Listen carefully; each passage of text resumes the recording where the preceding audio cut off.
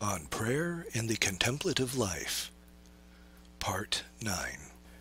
Chapter 6 Is the act of contemplation rightly distinguished according to the three kinds of motion, circular, direct, and oblique?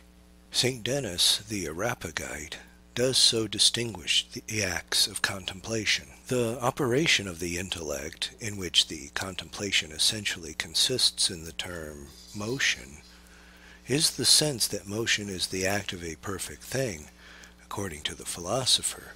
And since we arrive at a knowledge of intelligible things through the medium of the things of sense, and the operation of the senses do not take place without motion, it follows that the operation also of the intellect are correctly described as a species of motion and are differentiated according to the analogy of diverse motions.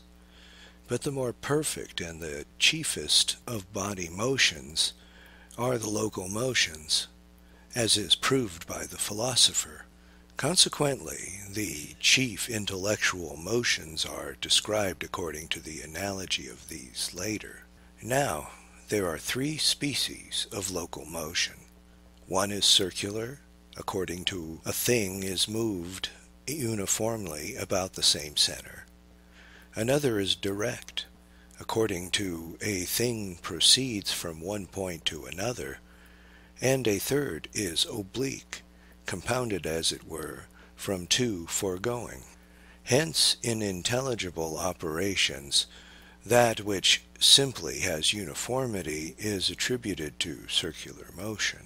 That intellectual motion by which a man proceeds from one thing to another is attributed to direct motion, while that intellectual operation which has a certain uniformity combined with progress towards different points, is attributed to oblique motion. All, however, do not agree with this division.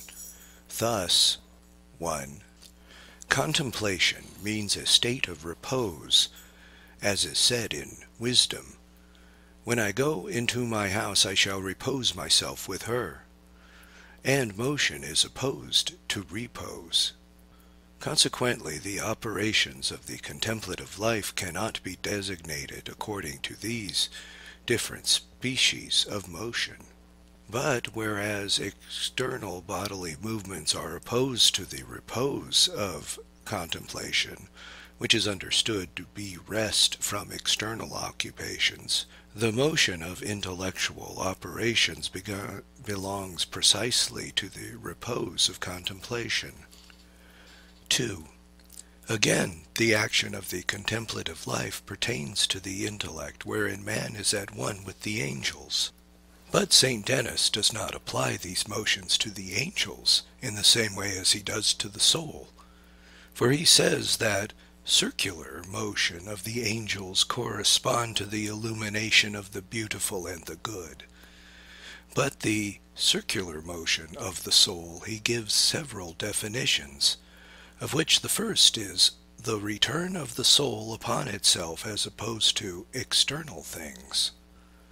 The second is a certain wrapping together of the powers of the soul whereby it is freed from error and from external occupation. And the third is union of the soul with things superior to it. Similarly, he speaks in different terms of the direct motion of the soul as compared with that of the angels. For he says that the direct motion of an angel is according as he proceeds to the care of things subject to him, while the direct motion of the soul is made to consist of two things. First of all, that it proceeds to those things which are around it. Secondly, that external things is it is uplifted to simple contemplation. And lastly, he explains, the oblique motion differently in each case. For he makes the oblique motion of the angels consist in this, that while providing for those that have less than themselves, they remain in the same attitude towards God. But the oblique motion of the soul he explains as a meaning that the soul is illumined by divine knowledge and diffusely. Consequently, it does not appear that the operations of contemplation are fittingly distinguished according to the aforesaid species of motion. But while man's intellect is generally the same with that of the angels, the intellectual powers of the latter have far higher than in man. It was therefore necessary to assign the aforesaid motions of human souls and to angels in different fashion in proportion as their intellectual powers are not uniform. For the angelic intellect has uniform knowledge in two respects. Firstly, because the angels do not acquire intelligible truth from the variety of compound things, and secondly, because they do not understand intelligible truth discursively, but by simple intuition. Whereas the intellect of the human soul, on the contrary, acquires intelligible truth from the things of sense, and understands it by the discursive action of the reason. Hence, St. Denis assigns to the angels circular motion in that they uniformly and unceasingly, without beginning or end, gaze upon God, just as circular motion, which has neither beginning nor end, is uniformly maintained round the same central point. But in the case of the human soul, its twofold lack of uniformity must be removed before it can to the above mentioned uniformity. For there must first be removed that lack of uniformity which arises from the diversity of external things, that is, the soul must quit external things.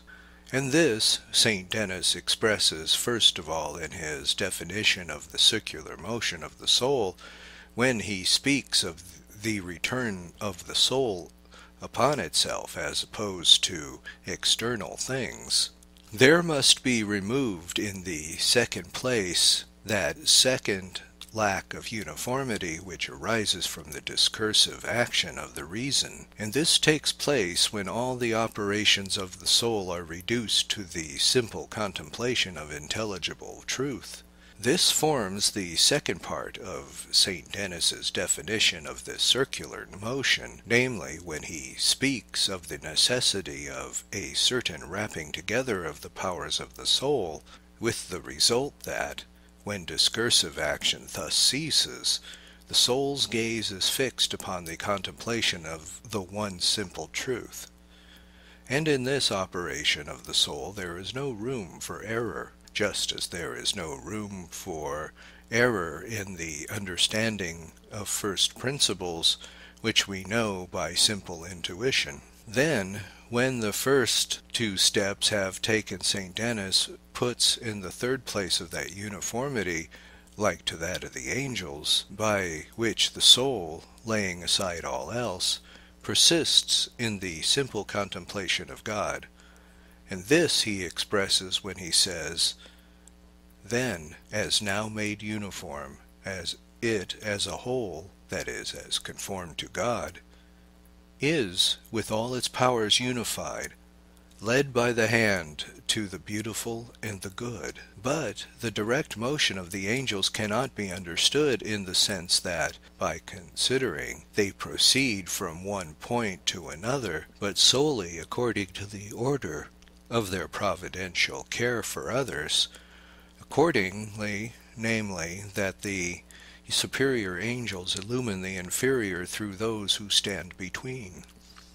And this is what St. Denis means when he says the direct motion of an angel is according as he proceeds to the care of the thing subject to him, taking in his course all things that are direct, following, that is, those things which are disposed to in direct order. But to the human soul, St. Denis assigns direct motion in the sense that it proceeds from the exterior things of sense to the knowledge of the intelligible things. And he assigns oblique motion to the angels, a motion that is compounded of the direct and the circular, inasmuch as an angel, according to his contemplation of God, provides for those inferior to him. To the human soul, on the contrary, he assigns the same oblique motion, similarly compounded of the direct and the circular motions, inasmuch as its reasonings it makes use of the divine illuminations. 3. Lastly, Vict- uh, Richard of St. Victor gives many others and different kinds of motion. For following the analogy of the birds of the air, he says of these latter that some at one time ascend on high, at another swoop down to the earth, and they do this again and again. Others turn now to the right, now to the left, and this repeatedly. Others go in advance, others fall behind. Some sail round and round in circles, now narrower and now wider while again remain almost immovably suspended in one place. From all that which it would seem that there are not merely three movements in contemplation, but all these diversities of motion which are expressed by up and down, to the right and left, backwards and forwards, and in varying circles, are reducible either to direct or to oblique motion. For they all signify the discursive action of the reason. For if this discursive action be from the genus to the species, or from the whole to the part, it will be, as Richard of St. Victor ex himself explains, motion upwards and downwards. If, again, it means argumentation from one thing to its opposite, it will come under motion to, to right and left. Or if it be a deduction from cause or to effect, then it will be motion backwards and forwards. And finally, if it means arguing from the accidents which surround a thing, neither nearly or remotely, it will be circuitous motion. But the discursive action of the reason arguing from the things of sense to the intelligible things according to the orderly progress of natural reason, belong to direct motion. When, however, it arises from divine illuminations, it comes under oblique motion, as we have already said in the reply to the second argument. Lastly, only the immobility which he mentions will come under circular motion. Whence it appears that St. Denis had quite sufficiently and with exceeding subtlety described the movements of contemplation. For behold, my witness is in heaven, and that he knoweth my conscience is on high. For behold, short years pass away, and I am walking in a path by which I shall not return. Chapter 7 Has contemplation its joys? In Wisdom 8 we read, Her conversation hath no bitterness, nor her company any tediousness, but joy and gladness. As St. Gregory says, the contemplative life means a truly lovable sweetness. There are two sources of pleasure in contemplation. First, there is the very act of contemplating, and everyone finds a certain pleasure in the performance of acts which are appropriate to his nature or to his habits. And the contemplation of truth is natural to a man, as a rational animal. Hence, it is all that men naturally desire to know, and this consequently finds a pleasure in the knowledge of truth and this pleasure is enhanced according as a man has habits of wisdom and knowledge which enable him to indulge in contemplation without difficulty. Secondly, the contemplation is pleasurable owing to the object which we contemplate, as when a man looks at something which he loves. And this holds good of even a bodily vision, for not only is the mere exercise of the visual faculties pleasurable, but the seeing people whom we love is pleasurable. Since, then, the contemplative life especially consists in the contemplation of God, to which contemplation we are moved by charity, it follows that the contemplative life is not merely pleasurable by reason of the simple fact of contemplating, but also by reason of the divine love itself. And in both these respects, the delights of contemplation exceed all other human delights. For, on the one hand, spiritual delights are superior to carnal delights, and on the other hand, the love of divine charity wherewith we love God exceeds all other love. Whence it is said in the psalm, Taste and see that the Lord is sweet. Some maintain, however, that contemplation is not pleasurable. Thus, 1. Pleasure belongs to the appetitive powers, whereas contemplation is mainly in the intellect. But while the contemplative life mainly consists in the intellect, it derives its principle from the affective powers. Since man is moved to contemplation by love of God, and since the end corresponds to the principle, it follows that the goal and term of the contemplative life is in the affective powers, in the sense namely, that man finds pleasure in the sight of a thing he loves, and this very pleasure stirs up in him yet a greater love. Hence St. Gregory says, When a man sees one whom he loves, his love is yet more enkindled.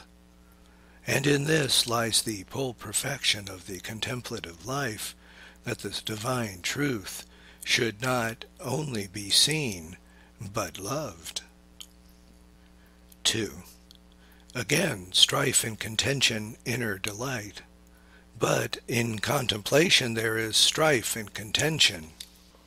For St. Gregory says, The soul, when it strives after the contemplation of God, finds itself engaged in a species of combat. At one time it seems to prevail, for by understanding and by feeling it tastes somewhat of the infinite light. At other times it is overwhelmed, for when it has tasted, it faints. It is true indeed that contest and strife arising from the opposition presented by external things prevent us from finding pleasure in those same things. But no man finds a pleasure in the things against which he fights. But he does find a pleasure, other things being equal, in the actual attainment of a thing for which he has striven. Thus St. Augustine says, The greater the danger in the battle, the greater the joy in the triumph.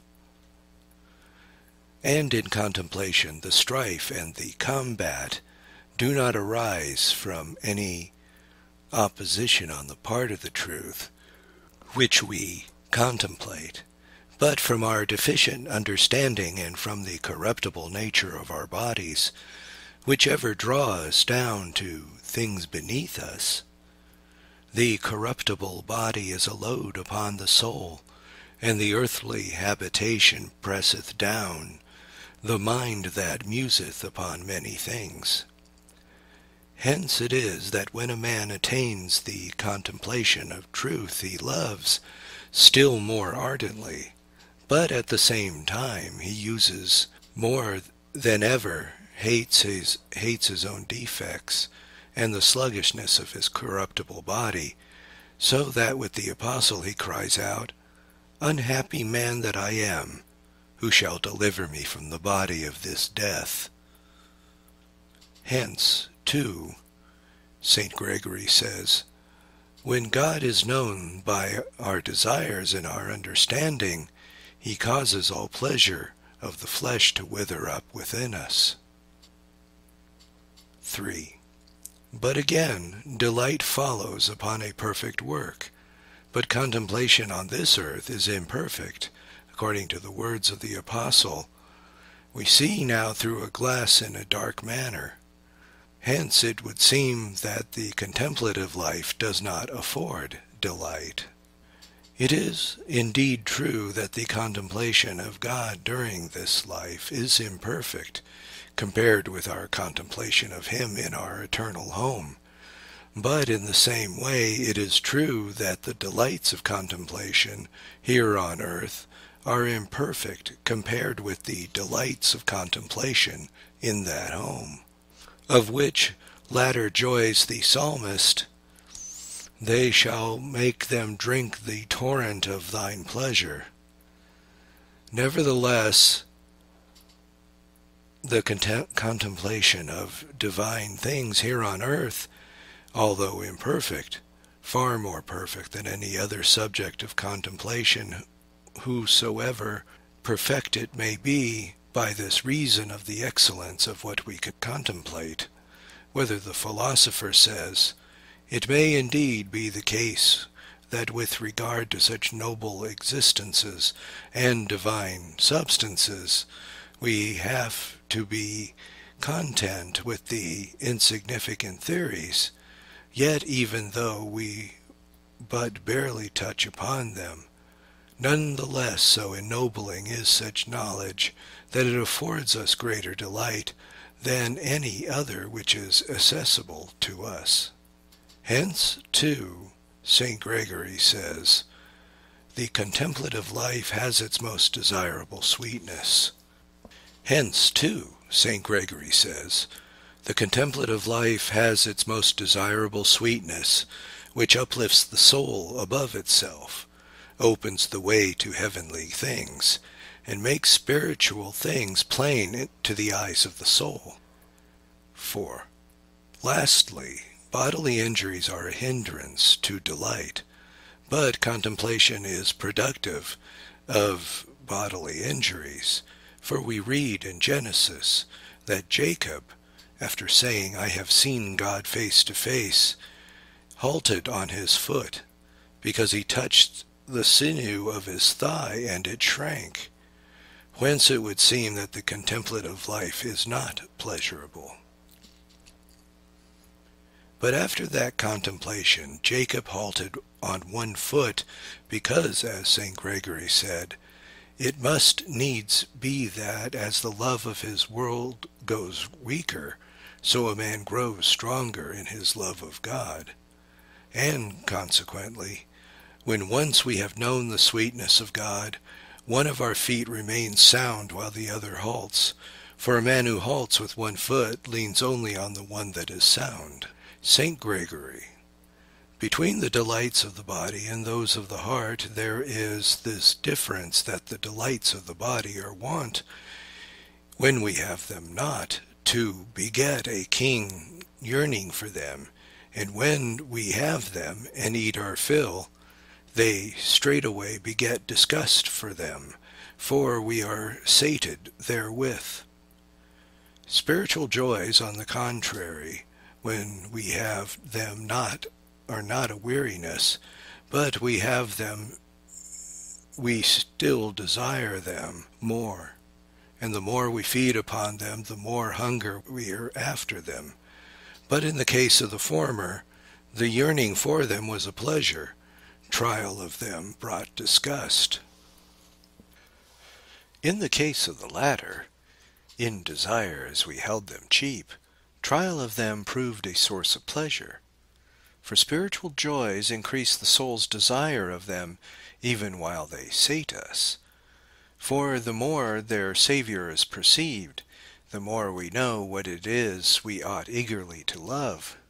Whence it comes to pass that when we have them not, we cannot love them, for their Saviour is unknown to us.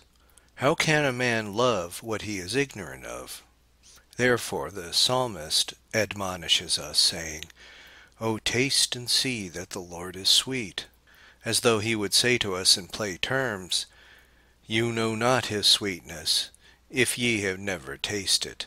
Touch, then, the food of life with the palate of your soul, that so, making proof of its sweetness, ye may be able to love it.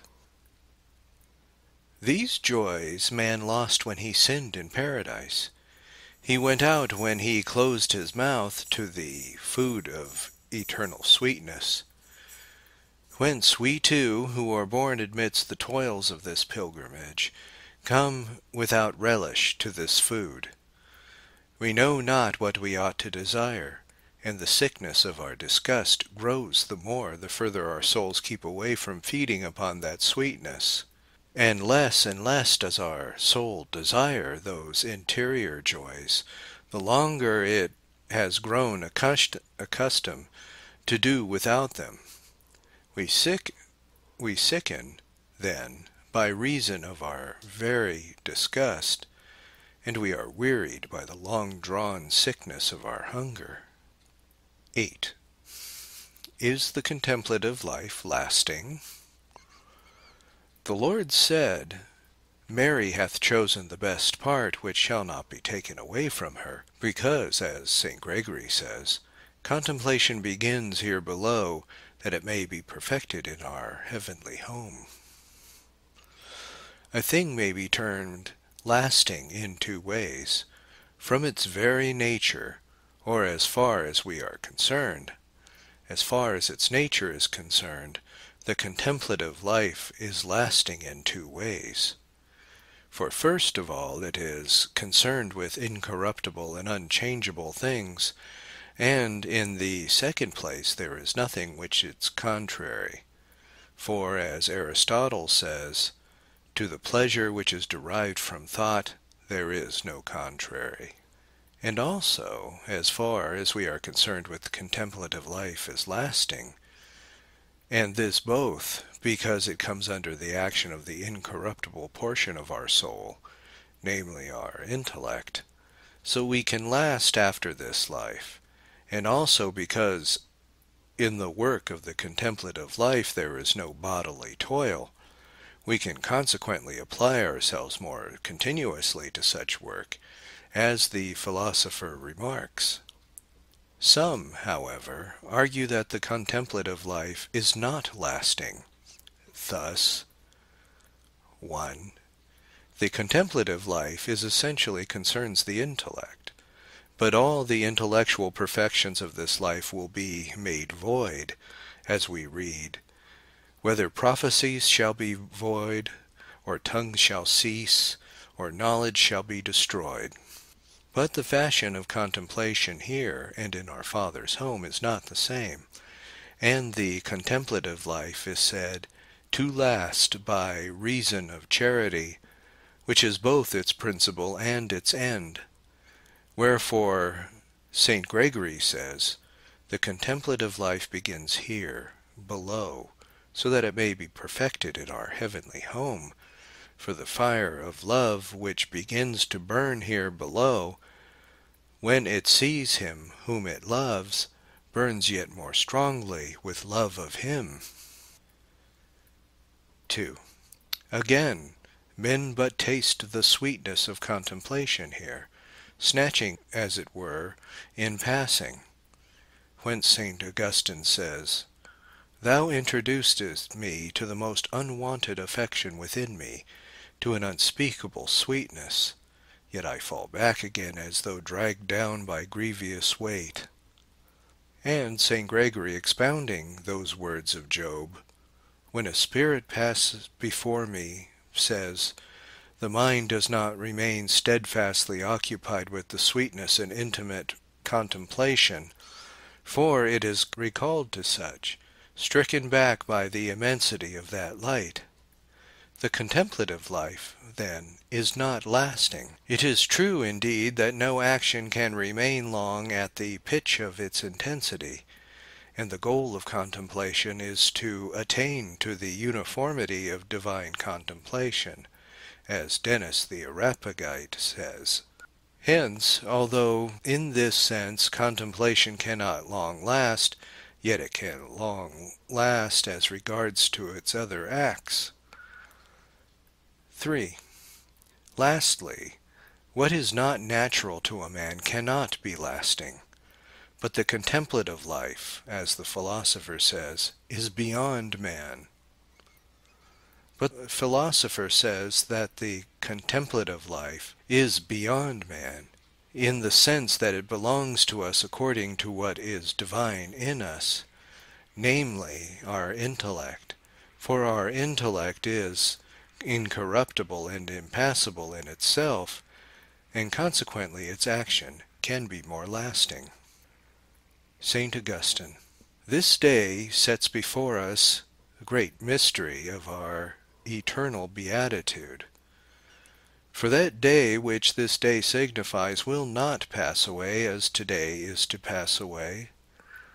Therefore, brethren, we exhort and beseech thee, by the name of our Lord Jesus Christ, by whom our sins are forgiven, by him who willed that his blood should be our ransom, by him who has deigned that we who are not deserving to be called his slaves should yet be called his brother. We beseech you that your entire aim, that which gives you the very name of Christian, and by reason of which you bear upon his name upon your foreheads and your hearts, may be directed solely to that life which we are to share with the angels, that life where there is unending repose, everlasting joy, failing, unfailing happiness, rest without disturbance, joy without sadness, no death. What that life is none can know save those who have made a special trial of it, and none can make trial of it save those who have faith. And you shall say in that day, I will give thanks to thee, O Lord, for thou wast angry with me. Thy wrath is turned away, and thou hast comforted me.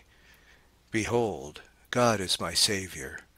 I will deal confidently, and will not fear, because the Lord is my strength, and my praise, and he is become my salvation. You shall draw the waters with joy out of the Saviour's fountains, and you shall say in that day, Praise ye the Lord, and call upon his name. Make his works known among the people.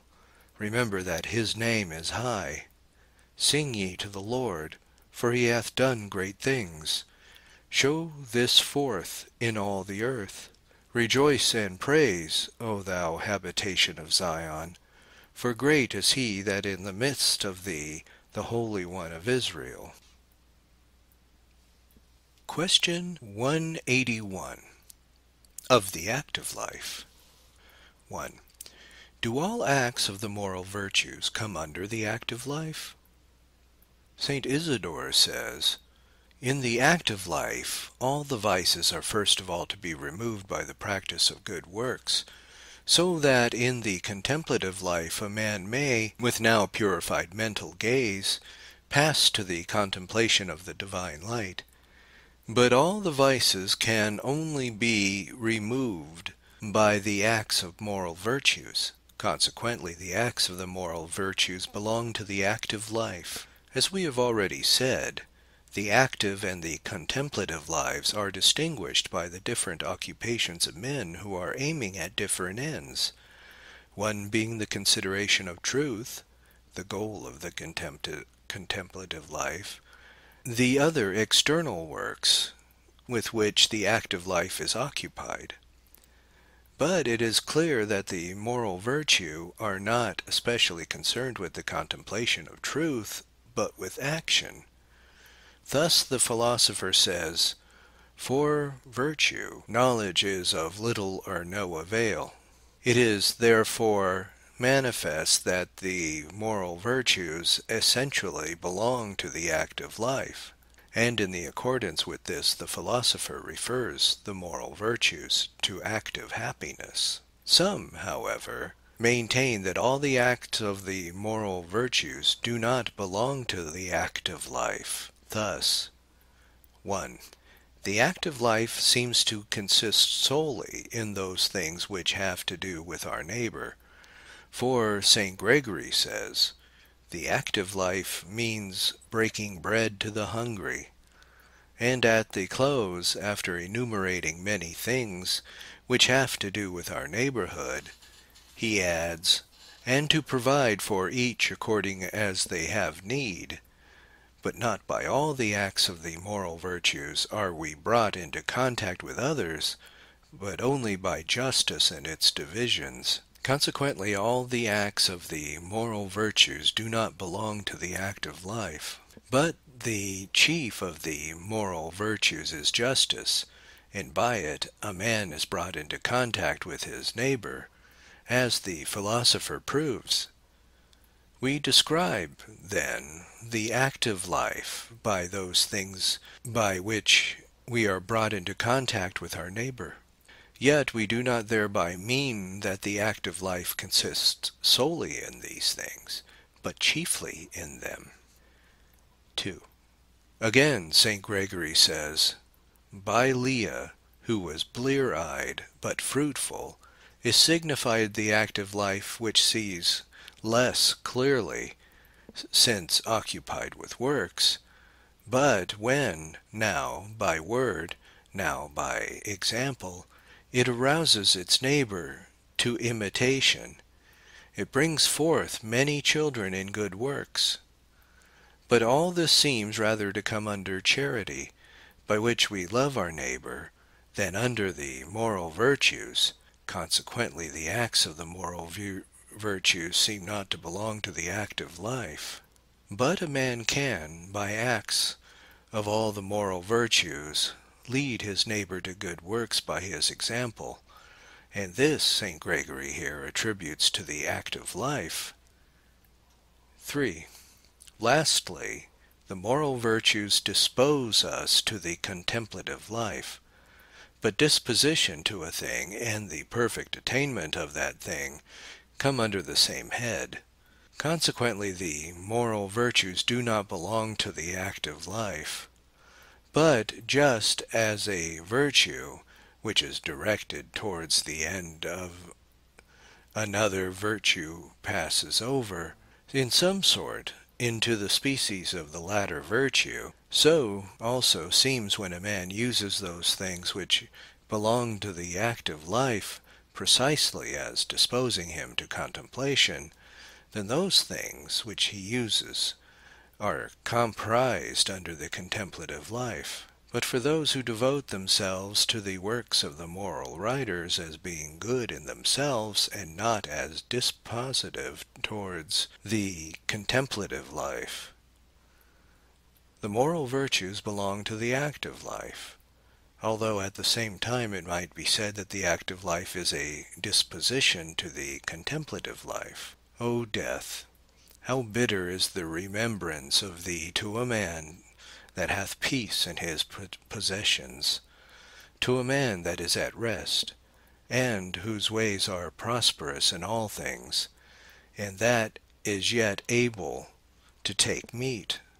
O death, thy sentence is welcome to the man that is in need, and to him whose strength faileth, he who is in a decrepit age, and that is in care about all things, and to the distrustful that loseth patience. Fear not the sentence of death. Remember what things have been before thee, and what shall come after thee. This sentence is from the Lord upon all flesh, and what shall come upon thee by the good pleasure of the Most High, when ten, or a hundred, or a thousand years 2. Does prudence pertain to the active life? The philosopher says that prudence pertains to the active happiness and to pertain to the moral virtues. As we have said, when one thing is directed towards the attainment of one thing at its end, it, and this especially holds good in morals, is, so to speak, drawn into the species of that towards it which it is thus directed. Thus, he who commits adultery in order to steal, says the philosopher, is rather a thief than an adulterer. Now it is clear that knowledge which is prudence is directed to the acts of moral virtues as it ends, for prudence is the right mode of procedure in our actions. Hence, too, the ends of the moral virtues are the principles of prudence, as the philosopher also says in the same work. In the same way, then, as we said above that in the case of a man who directs them to the repose of contemplation, the moral virtues pertain to the contemplative life, so also the knowledge which is prudence and which is by its very nature directed to the operations of the moral virtues, directly pertains to the active life, that is, of course, on the supposition that prudence is understood in the strict sense in which the philosopher speaks of it. If, however, prudence be understood in a broad sense, namely as embracing all kinds of human knowledge, then prudence pertains, at least in certain aspects, to the contemplative life. Thus Cicero says, The man who can see a truth the most clearly and quickly, and explain the reason of it, is rightly regarded as most prudent and most wise. But some maintain that prudence does not pertain to the active life. Thus, 1 just as the contemplative life pertains to the cognitive powers, so does the active life pertain to the appetitive powers. But prudence does not pertain to the appetitive powers, but rather to the cognoscitive. Consequently, it does not pertain to the active life. But moral acts derive their character from the end, towards which they are directed. Consequently, with the contemplative life belongs that kind of knowledge which makes its end consist in the very knowledge of truth. But the knowledge which is prudence, which is rather directed to the acts of the appetitive powers, pertains to the active life. 2. Again, St. Gregory says, The active life, occupied as it is with work sees less clearly, and hence is typified by Leah, who was blear-eyed. But prudence demands a clear vision, so that a man may judge what is to be done. Hence it would seem that prudence does not pertain to the active life. But occupation with external things only makes a man see less clearly those intelligible truths which are not connected with the things of sense, the external occupation of the active life, however, make a man see more clearly in his judgment on a course of action, and this is a question of prudence. For he has experience, and his mind is attentive. When you are attentive, says Sallust, then mental acumen avails. 3. Lastly, Prudence comes midway betwixt the moral and the intellectual virtues. But just as the moral virtues pertain to the active life, so do the intellectual virtues pertain to the contemplative.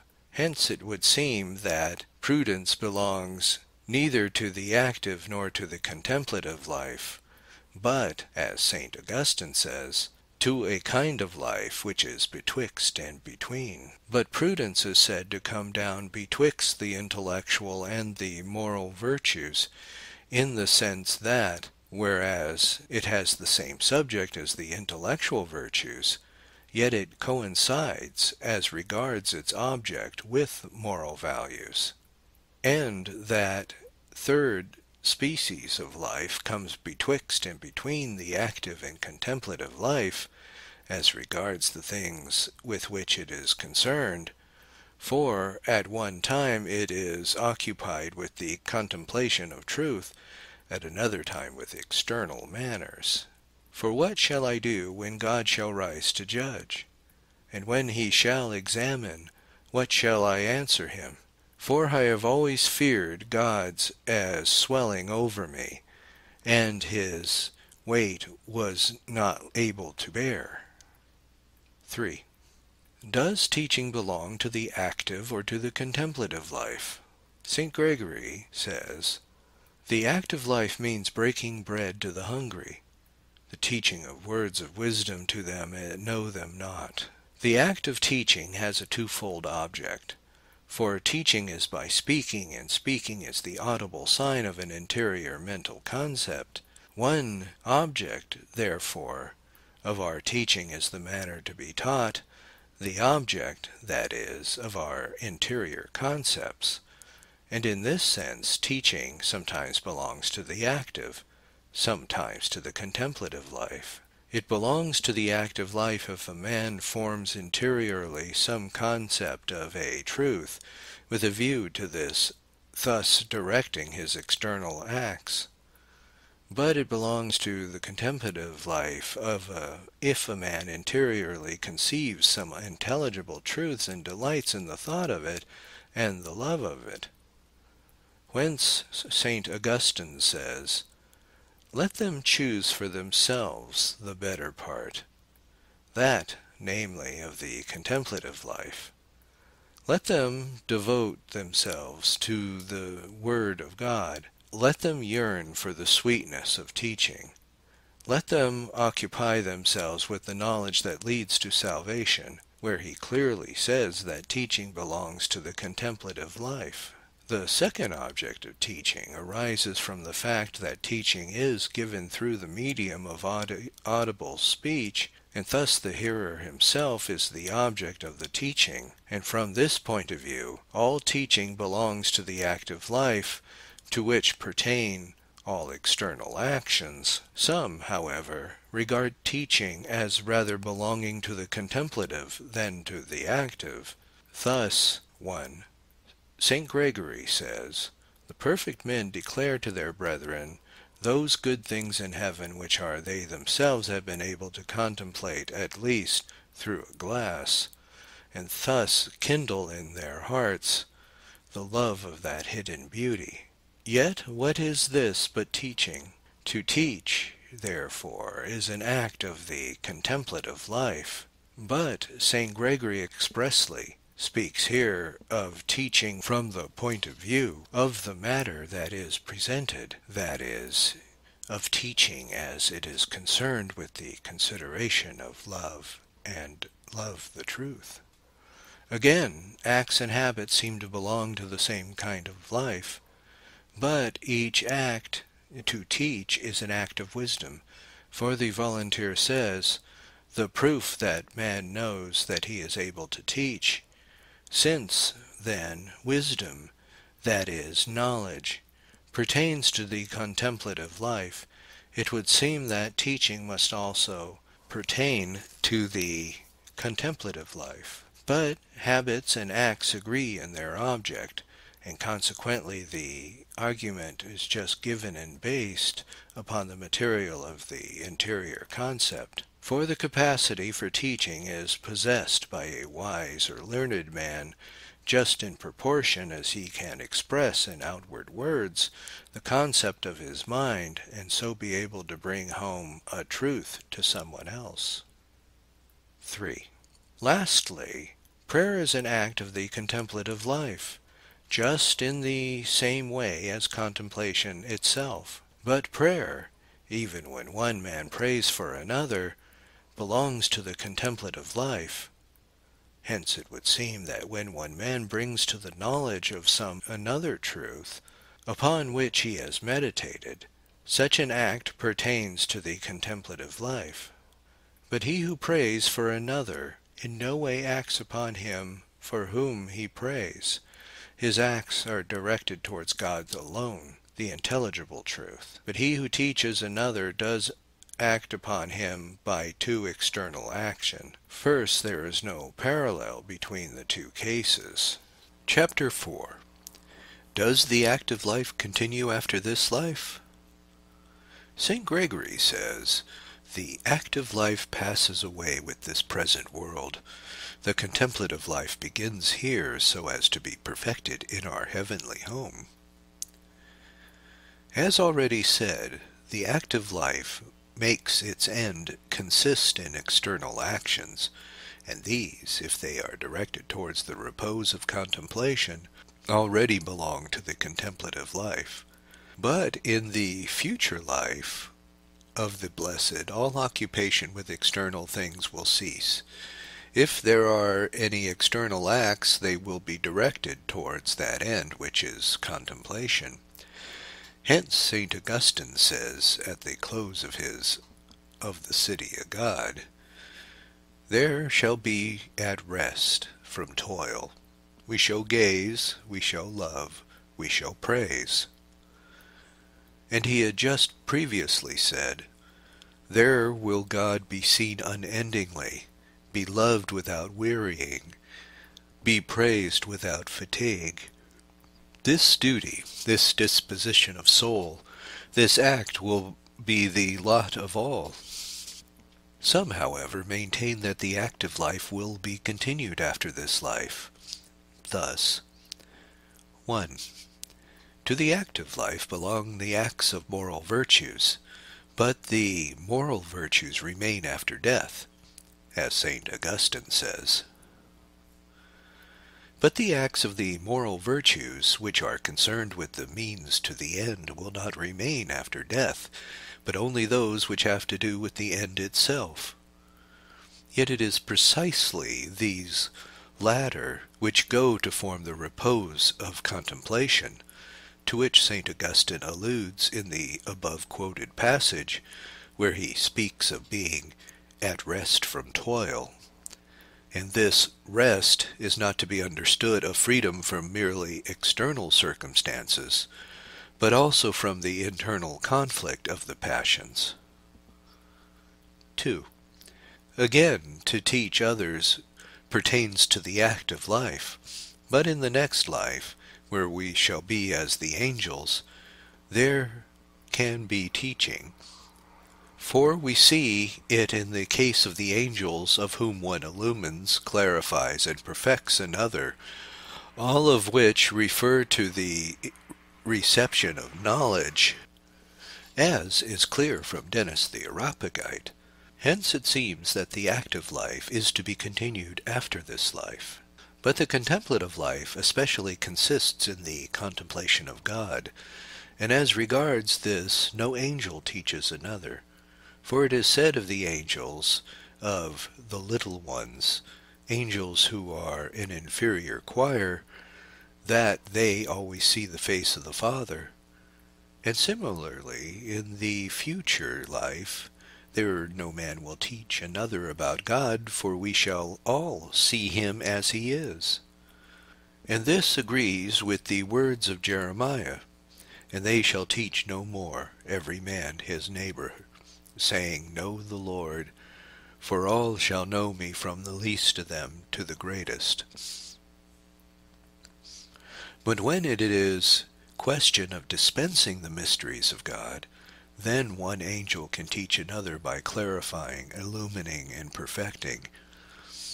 And in this sense, the angels do, in some sort, share in the active life as long as this world lasts, for they are occupied with ministering to the inferior creation.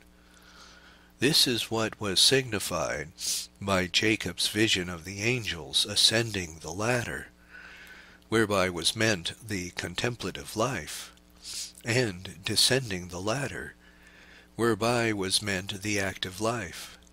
At the same time, as St. Gregory says, not that they so went out from the divine wisdom as to be deprived of the joys of contemplation.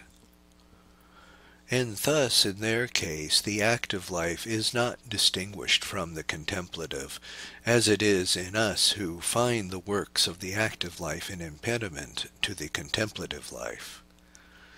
Moreover, we are not promised a likeness to the angels in their work of administering to the inferior creation, for this does not belong to us according to our nature, as is the case with the angels, but according to our vision of God. 3. Lastly, the more durable a thing is, the more capable it seems of lasting after this life.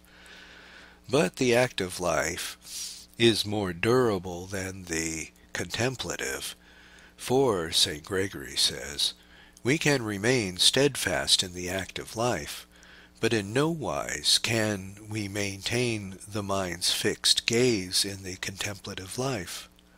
Consequently, the active life is much more capable of continuing after death than is the contemplative life.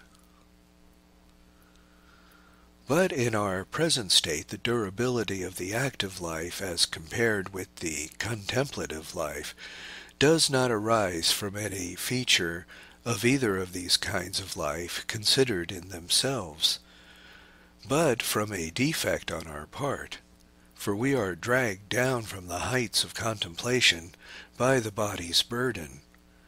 And thus, St. Gregory goes on to say that, thrust back by its very weakness from those very vast heights, the soul relapses into itself. O bless ye our God, ye Gentiles, and make the voice of his praise to be heard, who had set my soul to live, and hath not suffered my feet to be moved.